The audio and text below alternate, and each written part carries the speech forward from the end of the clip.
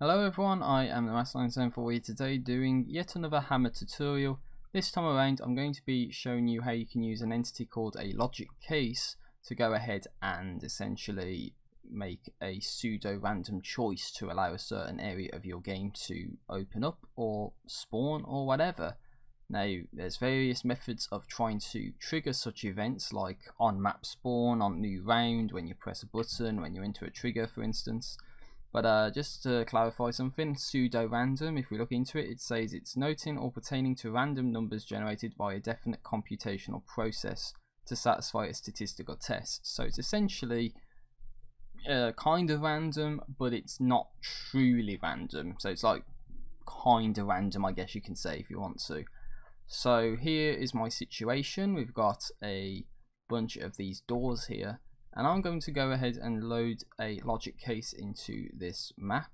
So if we go into it and take a look it's a, something that looks like this. And we're going to alt enter to get into properties. And I'm going to call it door case like so. Now for the logic case you can select all sorts of different cases if you want to.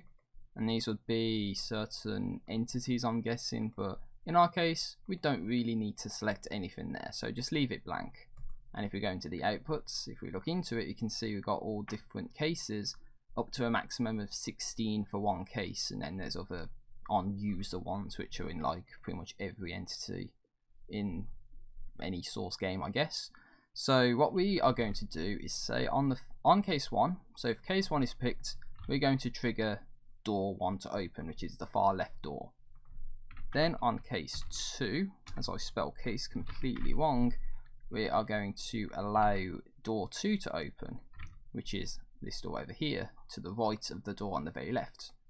And then rinse and repeat for on case 3 and 4 to essentially trigger all these other doors to open if that specific case has been selected, like so. Now, of course, you can manipulate these cases to make one event occur more so than another, and essentially you can allow uh, any percent of an event to happen just by utilizing logic cases. Now, one thing I want to sort of demonstrate is say if you want to go for a, percentage chance that you can't do with 16 logic cases, oh, sorry, 16 cases to one logic case and you want to go to say I don't know a one in a hundred and you need to utilize many logic cases then what you can do is essentially use what I would like to call a master logic case. And essentially what we're going to do now is actually go through the um, process of actually activating the case to begin with. So if we go into our button here as you can see the first output is exclamation mark self lock. So because the button does have a name I would just want to lock the button so people don't open all the doors. Then what we're going to do is select our door case and if we look into the inputs here, the best option here is pick random. So it's just basically going to make a random selection out of any of the logic cases here. Now the case I'm trying to suggest is that if we have a master logic case, then the outputs of the logic master logic case here would be to essentially pick random of these child cases where in these you actually have events to trigger if you catch my drift. So essentially what I could do is say okay copy all this into here.